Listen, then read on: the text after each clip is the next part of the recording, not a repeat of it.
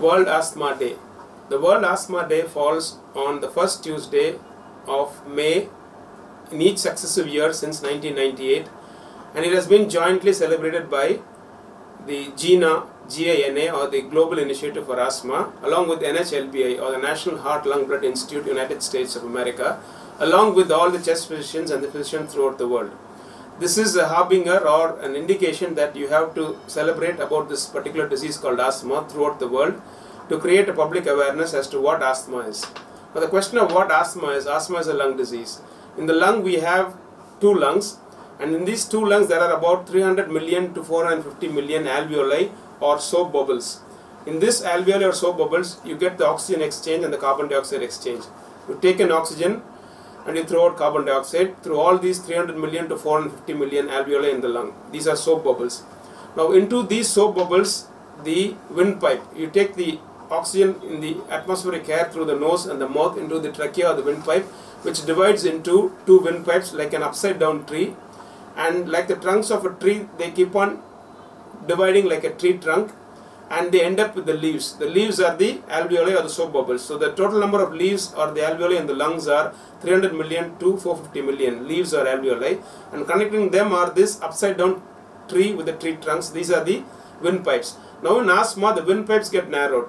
The windpipes another name is called bronchus. So you have a bronchitis or an allergic bronchitis or inflammation of the windpipes. So when the windpipes get inflamed what happens is this the normal windpipe is this is the diameter. In asthma it becomes smaller smaller and it becomes very small.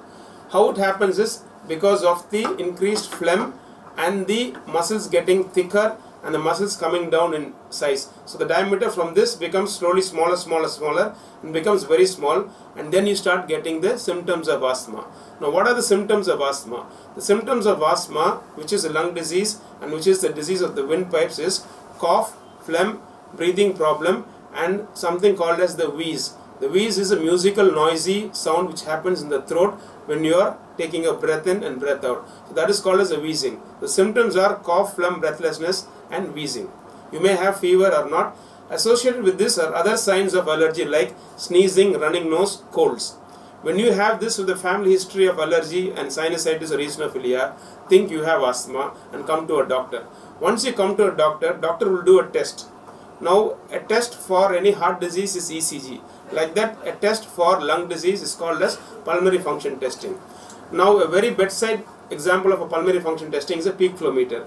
You take this peak flow meter, put it in your mouth and blow. This is just 500 rupees. This is a pulmonary function testing. This should be done for all lung patients, especially with asthma. Now, this connected to a computer is called as a pulmonary function testing and that is your test for asthma. Once the test for asthma is done, you have to do your treatment. Now, before going into the right treatment, I'll tell you what was the wrong treatment for the last 40 to 50 years. Still practiced now in major hospitals by senior uh, doctors. And the treatment is still injections are being given. Injections are being given, Tamil Solon Narambosi.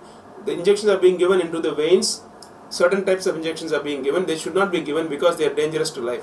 What should be given is what is called as inhalers. These inhalers have medicines inside these canisters which are gas form and they should be given usually through a device called as a spacer device. Especially in children and elderly, they are very useful. So you give an inhaler and keep it in the mouth and start breathing out and in. So this is called an inhaler and a spacer device. This is the treatment for asthma. First treatment, second treatment, third treatment is only inhalers and spacer device, not injections, not even tablets. Now another form of inhalers is this. This is called as a capsule. You don't take the capsule in your mouth, you put it inside this called as a rotahaler, close it, you press it, there are needles pressing the capsule, put it in your mouth and inhale.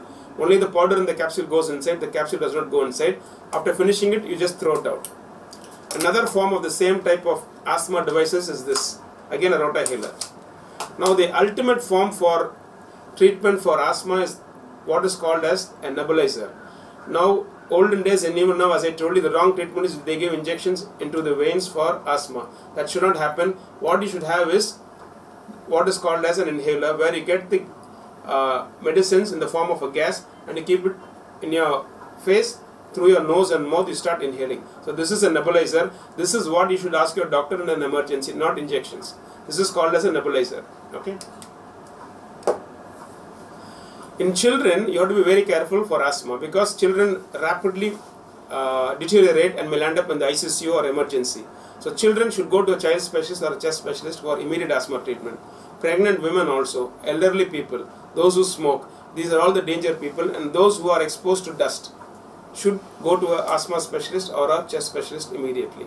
So the take home message is when you have asthma like an ECG use a peak flow meter. When you have asthma don't do go for injections use an inhaler with spacer device or use any of the other known devices and if you are having an acute attack of asthma especially for children use a nebulizer. You can see this gas coming out like this. So this is called a nebulizer and this is what you must use. Ask your doctor if they are not providing you one.